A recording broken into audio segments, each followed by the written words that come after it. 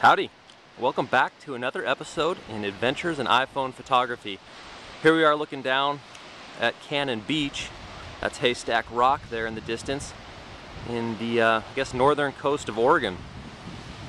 You can kind of get a feel for what we're working with here. And today I wanted to talk just a little bit about compositional details and uh, the story behind the image here. What I was working with was this scene, as you see it here, and I shot a lot of the traditional um, composition here, trying to get as much landscape as possible. But in this episode, I want to talk about maybe some decisions when it comes to details within your composition.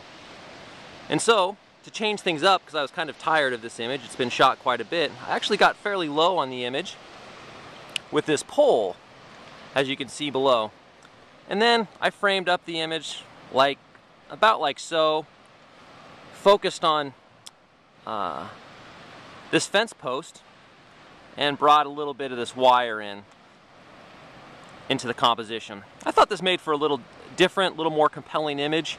Uh, when I first approached this image, I actually went to this side. As you can see, this is the shaded side of the pole, and it just looked like it was constricting the frame. I couldn't really tell what it was.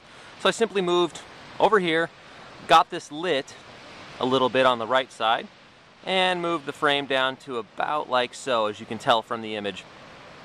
So all I wanted to do today was not only share this beautiful Oregon coast with you, but I wanted to talk to you a little bit about trying to think outside the box, pay attention to the details of your composition, and just try different things until something finally works.